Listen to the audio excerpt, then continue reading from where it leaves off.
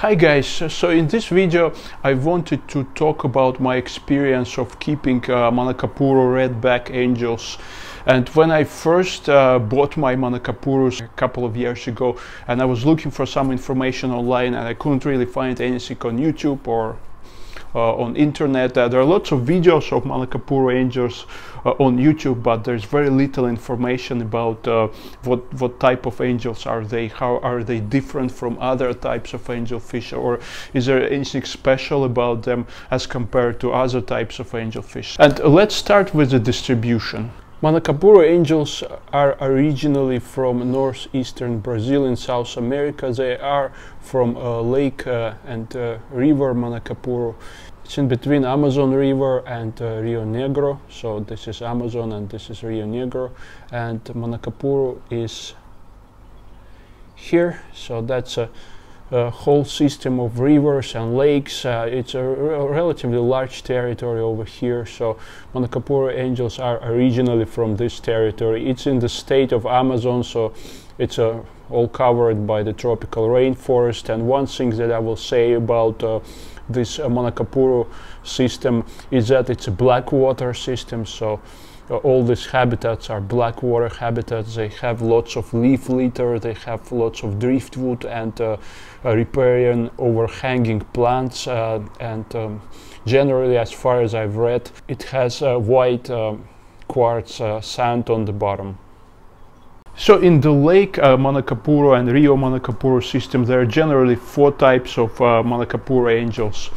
First one is just a regular striped wild type angel which doesn't have a red back so it, it has no red color at all. It's a really beautiful variety and I've seen them for sale wild caught uh, so they're usually called um, Manacapuru angels but they're not called red back Manacapuru angels so they just Manacapuru angels and th they would be absolutely beautiful. They have these uh, stripes and they have this uh, somewhat extended uh, body shape and uh, really long uh, dorsal and anal fins uh, so they're really beautiful but no red color uh, the second variety are Manacapuru angels with lots of red dots on the upper part of their backs. So they are not exactly red back either, but they have lots of red dots. I've never seen that variety myself and they are supposed to be very similar to Santa Isabel angels, but they are from Manacapuru region. Uh, the third variety is what we usually uh, know as Manacapuru redback angels. So they have this intense uh, red color on the top part of their back. Uh, when they're young it might be orange, it might be yellowish, but as they mature, as they reach about one and a half year old or two years old, it, it will be really intense red. And the fourth type of Manacapuru angels are so-called uh, super red angels. Uh, sometimes uh, when you see these uh, labels uh, super red Manacapuru angel, you would think that this is a domestic strain, it's a tank bred type of uh, Manacapuru angels, but it is not actually. That's also a wild form, a wild color form of Manacapuru angels.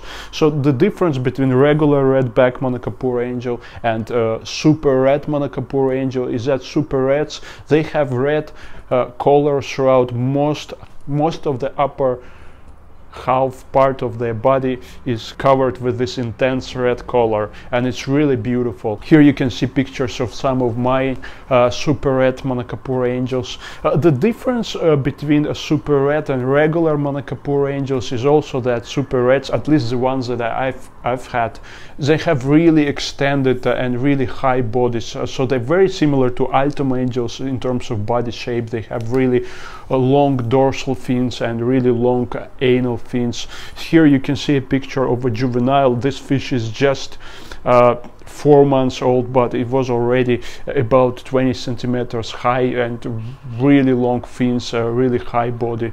Uh, so uh, it's a very beautiful fish. It's much more difficult to find super red uh, Manacapurus and uh, sometimes they are actually sold as uh, regular Manacapurus because either breeders who breed them as F1 or F2 they're not aware about the differences.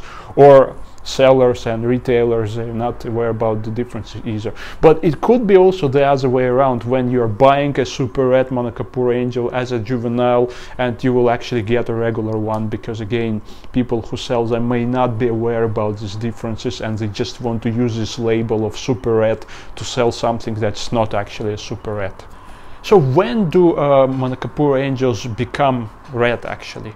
Most of the time you will uh, only see juveniles available for sale and when they're small they're not much different from all other types of uh, wild types of angelfish and uh, uh, they, when they're really small like this size they would probably even look very similar to regular zebra or striped types of uh, angelfish. So it's really hard to say that they are actually going to be Manakapur redbacks at that size. So you really need to wait for them to color up. You need to wait for them to actually grow up and uh, for their body shape to acquire a typical Manakapur uh, redback uh, angelfish body, body shape.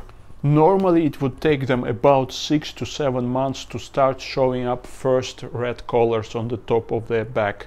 So you really have to wait for it. Some people keep them for a while and they raise relatively large fish which doesn't get any colors. So they believe that they we've got something else not Manacapurus. But you really have to wait for it because Manacapuru angels they grow really fast and they can be really large. But they show up their colors quite late. So from six to seven months the best colors you would get when they're about one year old and super colors will show up when they're about two years old. So this is when they will be really intensely red. Some of the fish start coloring up earlier than others. It depends also on uh, distribution or on the source of your fish. So it, it's always a bit different. So what does uh, this red color depend on? Are all Manacapuru redback angels get equally bright? Well, in my experience, uh, uh, not really. Uh, the colors, uh, the red colors depend on feeding, uh, depend on water quality, and obviously depend on their genes. So if they had, uh, if they're wild, obviously they're are going to have really bright red colors, but only for a certain period of time. If you don't provide them with adequate feeding and uh, with absolutely um, with absolutely pristine water conditions, they're going to lose some of their colors, even if they had them initially. Uh, even if uh, you bought them like that and they're wild caught fish, so you would expect them to to be as red as they are now for the rest of their life, but that's in most cases not going to happen unless you provide them with adequate conditions. If you're buying juveniles and you're raising them up, it's really important to follow these guidelines on feeding and water conditions in order for them to develop these really intense and bright red colors. So in terms of feeding, um, you need to feed your Manacapuru angels uh, high quality color enhancing foods yeah, yeah, they would absolutely love all sorts of live food and frozen foods, but uh, their staple has to be some sort of flakes or some sort of uh, uh, dry foods that have some uh, red color enhancing elements.